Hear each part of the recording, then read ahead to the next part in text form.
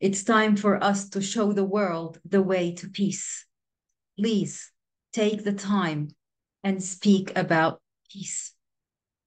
We were taught that conflict resolution starts by listening to one another, by apologizing sincerely for the wrongs that have been done,